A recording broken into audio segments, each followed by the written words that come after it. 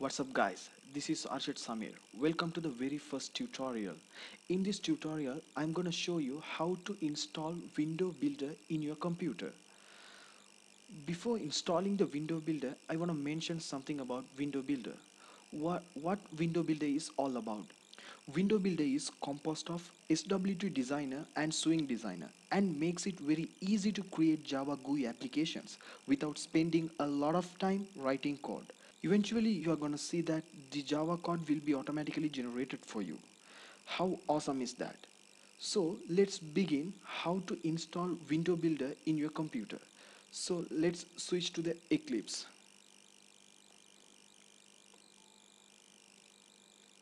Before installing the Window Builder, we need to check the version of our Eclipse. For that, just click on the button Help and we can see there's an option about Eclipse. Just click on it.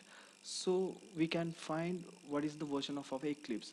Mine is 4.4.1 and I don't know what is your version. Just keep it in your mind what is the version of your Eclipse. And just click on to OK. Now we are gonna get the link for installing our window builder. So that let's switch to Google Chrome and whatever you want. Now I need to install window builder. So let me type this one download window builder for Eclipse 4.4 is because mine is 4.4 I don't know what is yours. So that just keep in mind to don't forget to mention that your Eclipse version.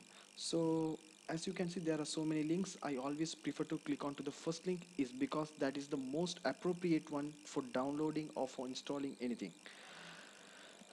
And you can see here this is the page for window builder just we need to do only one thing just copy this link and switch to the Eclipse. So we need to download this software. So that just click on the help option.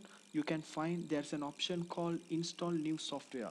If you want to install any software you need to go through this only. Just click on it. So one window will pop up. This is the window. So after that click add you can put whatever the name you want. I'm gonna put it as window builder and paste it whatever you have uh, copied from there and click on to OK it's gonna take some time to collect some stuffs corresponding to this link. Now as you can see it has come what are the options? Swing designer swt designer and window builder engine. These stuffs are gonna install. So that you need to select all these things. After that just click on to the next option. As you can see this is the new window. So what we need to do is that just click on to the next button. Now we need to accept the terms of the license agreement. So that this button gonna be enabled. Finish button is gonna be enabled. Now as you as you can see you can download it by clicking on finish button but I've already installed window builder so that I'm not gonna click on the finish button. But you guys have to click on the finish button to complete the installation. I'm just gonna cancel it out.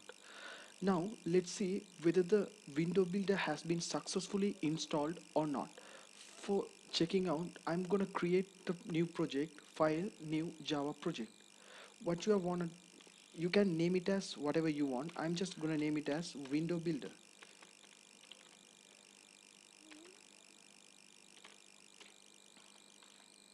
And under the project name you'll be able to see there's a folder known as source. Right click on it new. Just choose the option other. Is because we are going to create a window with the help of window builder if the window builder is successfully installed, then you'll be able to see there's a folder known as window builder. Under the window builder, you'll be able to see swing designer and SWT designer. This is what I said at the beginning of my tutorial. Window builder is composed of SWT designer and swing designer under the swing designer you'll be able to see there are multiple options application window japplet jdialog jframe j internal frame jpanel swing automatic data binding. So guys don't bother about all these things. I'm gonna explain all the things very clearly in upcoming tutorials. Just for the purpose of demonstrating whether the installation is successfully completed or not we are gonna click on to jframe and next. As you can see now we need to give a class name. I'm just gonna name it as window you can put whatever you want. Just click on to finish. Now you can see auto generated code. This is the auto generated code for our window. And if you want to switch to the designing part you need to choose the option which is known as design. And if you want to switch back to the source code you need to click on the option which is known as source. So let us see how design part is looks like. There we go. This is how it looks like. And now we can say the window builder has been successfully installed. This is what I want to show in this tutorial guys and I want to mention one more things. In upcoming tutorials I'm gonna do a lot of examples in window builder so that in future after finishing the after finishing all the window builder example what I'm going to do is that I'm going to connect all the window build all the window builder examples with the database so that you can interact with data in the sense you can retrieve data you can delete data you can insert or whatever it is update all the things you can do. So this is what my entire plan so don't forget to check out my next upcoming tutorials. And don't forget to subscribe don't forget to click on the thumbs up button. Thanks for watching. I will see you in the next tutorial